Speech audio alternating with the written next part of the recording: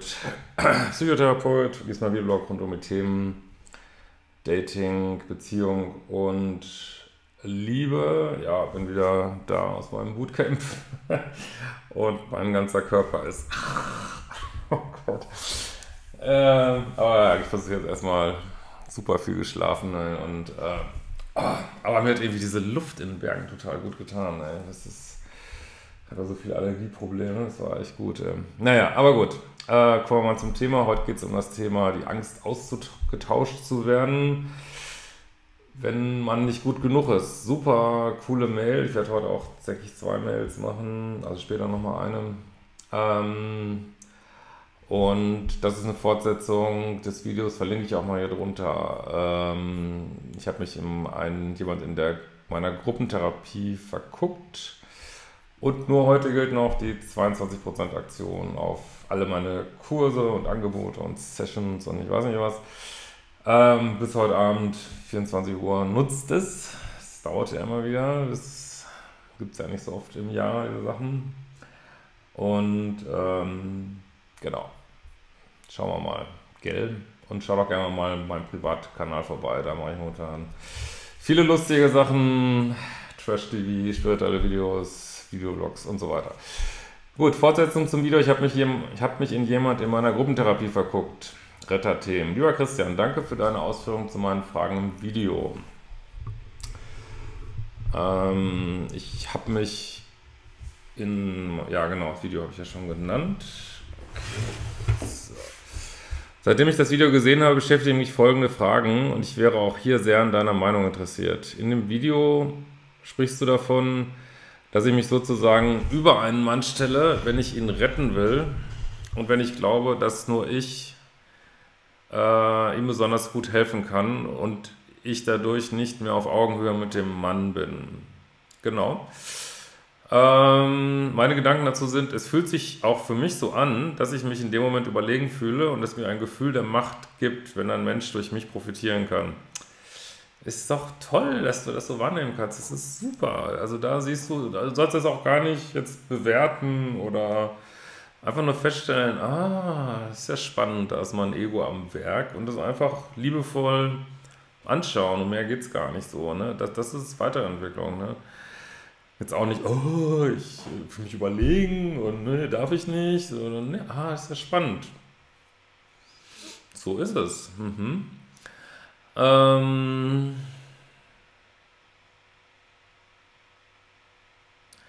also ich will mich in dem Moment überlegen, weil es mir ein Gefühl der Macht gibt. ja, ich glaube, ich brauche das Gefühl der Überlegenheit, weil ich sonst sofort das Gefühl habe, dass der andere überlegen ist und die Führung übernimmt. In Beziehungen glaube ich, dem anderen etwas Besonderes bieten zu müssen. Das sind, da ist jetzt inneres Kind, das sind immer, wie das so ineinander greift. Ne? Das finde ich so klasse. Super, dass du das so wahrnehmen kannst, echt ähm, zum Beispiel meinem Partner in besonderem Maße helfen zu müssen. Ja, und das sind aber genau die Sachen, also super, dass du das wahrnimmst und arbeite daran, das sind alte Gedankenstrukturen aus deiner Kindheit, ähm, die sind einfach nicht wahr. Ne? Und es ist sogar das Gegenteil, es war, je mehr man denkt, man müsste dem anderen sonst was bieten, umso needier kommt man irgendwie rüber und umso mehr erschafft man sich genau das, was man nicht haben will, ne? dass irgendwie abgelehnt wird. Weil man nicht authentisch ist, weil man nicht sagt, hey, ich bin so eine coole Socke, ich bin so einer Selbstliebe, warum soll ich mich jetzt groß verstellen für den anderen? Ja, so wie ich bin, meine beste Version, das wäre jetzt ein guter Gedanke. Aber es kommt halt, ja, bei uns allen mehr oder weniger aus der Kindheit, aus vielleicht noch aus ganz anderen Quellen, äh, aus dem Kollektiv, aus vielleicht Sachen, die man schon mitgenommen hat in dieses Leben, ähm, aus vor, vielleicht Vorinkarnation, ich weiß es nicht äh, kommen diese Themen hoch und wollen angeguckt werden. Und das ist das alte Täter-Opfer-Programm. Ne? Ich bin nicht gut genug, ich muss, äh, und der Minuspol denkt dann halt, ich bin nicht gut genug, ich muss dem anderen manipulieren, belügen, ich weiß nicht was. Und der Pluspol denkt halt, ich bin nicht gut genug, ich muss ganz viel machen, aber das erschafft genau die Realität, die du nicht haben willst, äh, dass der andere dann eben auch denkt, du bist nicht gut genug und äh, es dann Beziehungsprobleme gibt. Jetzt ist das wie gesagt, das ist total menschlich, aber immer wieder versuchen, so ein bisschen dran zu arbeiten. Und was ich immer wieder sage in meinen Kursen, äh, dass wir jetzt Modul 2 Kontergedanken finden. Ne? Also Was ist ein positiver Gedanke? Positiver Gedanke ist, ey, Mann, wie ich wirklich bin, ist so eine coole Version von mir, dass auch anderen die bestimmt am meisten gefallen wird. Das wäre jetzt ein guter Kontergedanke. ähm, sonst habe ich die Befürchtung, einfach ausgetauscht werden zu können, als wäre ich ein Gegenstand und als hätte ich dann keinen Nutzen. Ja, das ist, wird eins zu eins innere Kinderfahrung sein. Aber das ist dann wohl der falsch programmierte Liebeschip, von dem du immer sprichst. Bingo! Ja! ja. Ähm, ja. Ich kann mir eine Beziehung auf Augenhöhe gar nicht richtig vorstellen. Das ist für mich zu schön, um wahr zu sein. Auch das ist ein alter Gedanke. Also in ein positiver, äh, ein guter, so ein 5D-Gedanke, wie man so in der Spiritualität sagt, wäre, äh, ja, ich, ich kann alles haben. Es kann, so, es kann alles so schön sein, wie ich es gerne haben möchte. Also guck doch immer mal gerne, das ist, glaube ich, für viele interessant in diesen spirituellen Kurs rein. Ähm, nice, geiles Leben und Spiritualität. Ähm, das bringt auch nochmal so einen anderen Schlag so rein. Ne? Ähm, die Vorstellung, dass gleichberechtigte Beziehungen möglich sind, ist für mich sehr schmerzvoll. Denn wenn sie existieren, wieso muss ich in der Vergangenheit dann durch die Hölle gehen? Da ist echt eine super E-Mail, da ist wirklich ganz viel drin. Ähm, ja, du musst es, also letztlich weiß ich natürlich auch nicht, aber ich, das denkt, glaube ich, jeder, wieso musste ich so durch die Beziehungshölle gehen, so. Ähm, aber ähm, ja, also weil du anders nicht, es ist glaube ich leider im Menschsein so, dass wir immer nur durch Schmerz irgendwie uns bewegen oder meistens, nicht immer, ähm, zumindest auf bestimmten Phasen des Wegens scheint das so dadurch durchzugehen, dass man in Schmerz gebracht wird und ja, vielleicht brauchtest du genau äh, diese nicht gleichberechtigten Beziehungen, ja, so also ähnlich wie man nicht Liebe erfahren muss, um zu erfahren, was ist eigentlich Liebe. So, ne? ähm, das ist ja auch so eine Sache. Ne? Ähm, ähm, und ja, das, letztlich weiß man es natürlich nicht, aber also viele, also ich glaube, wenn wir immer uns die Hähnchen in, in den Mund fliegen würden ähm, oder die äh, Avocados für Vegetarier, äh, dann ja, würden wir uns nicht weiterentwickeln, ne? Wo, wozu irgendwie, ne? Und ja, scheinbar wollen, wollen wir das, wollten wir das, haben uns vielleicht diesen Weg auch so ausgelegt mit Schwierigkeiten. Vielleicht ist es jetzt äh, schwieriger, als wir uns das vielleicht irgendwo auf Wolke 7 äh, vorgestellt haben und wir sind gerade ein bisschen gefrustet, ist ja auch in Ordnung. Ähm, aber ja, nee, äh, ja, so ist das. Ne? Und aber du darfst jetzt in Zukunft äh, positiv in die Zukunft gucken und sagen, nee, jetzt möchte ich aber gerne gleichberechtigte Beziehungen haben und das steht mir auch zu. Ne? Und ähm, ich möchte nicht mehr durch diesen Schmerzen gehen, ne? will ich einfach nicht mehr. Ich, ich klinge mich da einfach aus, aus dem Drama so. Ne? Ist auch eine Entscheidung so. Ne? Ähm, bisher hatte ich den Glaubenssatz, dass das Leben eben schwer ist. Ja, das ist ein Glaubenssatz, genau. Und äh, Beziehungen sehr konfliktreich sind und wir Menschen die Aufgabe haben, diese zu bewältigen und uns durchzukämpfen.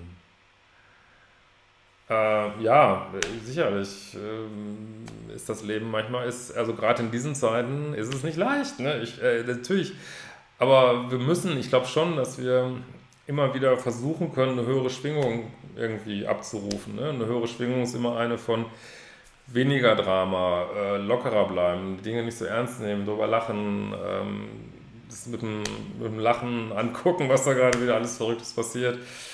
Das, und dann gehst du in eine höhere Schwingung und dann, meiner Ansicht nach, kreierst du dir dann noch wiederum eine positive Realität, selbst in diesem ganzen Chaos. Ne? Ähm, so. Der Gedanke, dass es auch ganz unkomplizierte, schöne Beziehungen gibt, ist erschreckend für mich. Ja, freu dich drauf. weil das alles, was in meiner Vergangenheit passiert ist, ja so sinnlos erscheinen lässt. Nee, es ist eben nicht sinnlos, weil, wie soll ich mal sagen, das ist ohne deine Vergangenheit wäre dieser, diese Aha-Erlebnisse, die du jetzt hast, wären einfach nicht möglich gewesen. Ne? Aber letzten Endes, warum und wieso wir hier auf diesem crazy Planeten sind, ich habe ja auch ganz oft das Gefühl, die haben mich versehentlich beim Falschen abgeworfen. Also Äh, kann ich dir jetzt auch nicht sagen, verstehe ich total irgendwie. Aber ich denke, dass, dass der Sinn liegt darin, in dieser Entwicklung. Ne? Irgendwie möchte ich sogar meinen Kampfmodus beibehalten, weil sonst hätte ich mich die letzten Jahre ja umsonst abgekämpft. Auch wenn das ein wenig absurd klingt. Ja, das ist jetzt äh, Täter-Opfer-Beziehung versus neue Beziehung. Ne? Das ist genau dass du mit einem Bein im Alten und mit einem Bein im Neuen stehst. Und du kannst jetzt jeden Tag entscheiden, möchtest, du wieder kämpfen? Das ist das alte Modell, ne? das Täter-Opfer-Modell. Möchtest du wieder kämpfen oder möchtest du in so, ja, äh, in Leichtigkeit und, und äh, ja, echte Liebe gehen und sagen, nee, ich lege die Waffen nieder, ich kämpfe nicht mehr. Ich, äh, und mehr in so einem Modus gehen von empfangen, ich empfange, ich, ich bekomme, ich, ich bekomme geschenkt, ich, äh, es entwickelt sich. Das, das, auch das kannst du mit deinen Gedanken positiv beeinflussen, indem du eben solche Gedanken denkst. Ne? Mm. In dem Video ging es ja auch darum, was, dass mir stabile Männer Angst machen. Ich habe in meiner Kindheit derart wenig Zuwendung von meinem Vater bekommen, dass mich das Maß der Zuwendung eines stabilen Mannes förmlich erschlägt. Also das ist auch so ein großartiger Satz, weil, ähm, ja, ähm, das ist ja, was ich immer wieder sage, auch im Pluspol gibt es eine Angst vor Intimität. Ne? Das ist total schockierend, wenn man einen Partner hat, der wirklich da ist plötzlich. Ne? Das ist doch gar nicht gewöhnt irgendwie. Ne? Ich habe in diesem Zusammenhang auch ein starkes Rückzugsverhalten und erziehe dann dadurch wieder meinem Partner die Zuwendung. Ja, das wäre wieder Modul 4 jetzt hier, oder habe ich aber auch ein Video zu gemacht, diese drei Formen der Co-Abhängigkeit, da bist du in diesem äh, Modus 2 co-abhängige Bindungsangst. Ja, auch das nimm es wahr in Liebe ähm, und sag dir immer wieder, es muss nicht so weitergehen. Ne? Und es, nur weil sich dieses Alte so vertraut anfühlt, das ist immer das Problem, es fühlt sich so vertraut an, du kennst das, ne? das ist deine Kindheitserinnerung, ne? das ist... Äh, und, und du möchtest dieses Vertrautheitsgefühl nicht aufgeben, aber das musst du. Du musst was Neues als vertraut empfinden. Und ähm, dann jetzt sind dann wieder andere Sachen gefragt, wenn du dann stabil jemanden hast oder hättest, geht es eben wieder darum, sich abzugrenzen. Ne? Dann wenn, brauchst du eben die Tools wieder. So, ne? Aus diesen Gründen bin ich schon sehr lange Single. Ja, das ist wirklich dieser Modus 2. Ne? Ich habe die Befürchtung, einem Mann nicht das geben zu können, was er bräuchte. Auch das, wieso musst du dem anderen irgendwas geben? Es geht ja darum, dass, man, dass ihr einfach zusammen da seid in der Beziehung. Ne? Also natürlich gibt man sich da auch was, aber äh, das ist wieder so ein Gedanke, du bist nicht gut genug, aber du bist gut genug. Das ist einfach so, jeder ist gut genug. Ne? Äh, und du musst es nur glauben irgendwie. Ne? Dann kann sich auch im Außen das ändern. Hm. Ähm, meine Mutter musste ihr Leben lang die schweren psychischen Probleme meines Vaters ertragen. Nee, das musste sie auch nicht. Also auf einer übergeordneten Ebene musste sie das nicht. Vielleicht war das für sie in ihrem Leben eine Wahl, äh, was heißt eine Wahl? Also ein Weg aus irgendwelchen Gründen, den sie gegangen ist. Vielleicht hätte sie auch einen anderen gehen können, aber sie musste es nicht, würde ich mal sagen. Aber die Generation vor uns war eben noch viel mehr so in Täter-Opfer-Beziehungen und 3D. Also, aber ist nicht dein Problem. Du sollst dich um dich kümmern, nicht um deine Mutter. Ne? Ich möchte das einem potenziellen Partner von mir ersparen. Äh, also, also du wärst aber doch eher deine Mutter als dein Vater, oder nicht? Also was willst du denn deinem Partner ersparen? Du solltest dir ersparen, so einen Mann zu daten. Das würde ich wichtig finden. Ähm, hast du jetzt so einen Rat für mich, wie ich aus diesen Gedankenschleifen aussteigen könnte? Ja, äh, denk, also jetzt hat sich jetzt total bescheuert, aber denk einfach andere Gedanken. Sag dieser Gedankenschleifen, nee, ich, also das ist natürlich wie so eine Bahn, die du immer wieder fährst, aber nee, heute fahre ich mal eine andere Bahn. Heute denke ich mal, ach, das Leben ist leicht und luftig, wie ein Schmetterling und alles fliegt mir zu und dann sagt man natürlich dein Verstand sagen, nein, nein, nein, es war noch nie so, ist nicht so, nein. Äh, aber probier's doch mal. Und äh, es sind natürlich immer so Baby-Steps, die man da macht, aber das geht nicht anders, ähm, wo man es einem phasenweise gelingt, vielleicht mal für fünf Minuten da auszusteigen und du wirst dann aber auch relativ schnell merken, je mehr du da aussteigst, dass das Leben dir auch anders gegenüber tritt und dann daraus kriegt man dann die Motivation, es noch mehr zu machen. So, ne? Ja, in diesem Sinne, wir werden uns bald.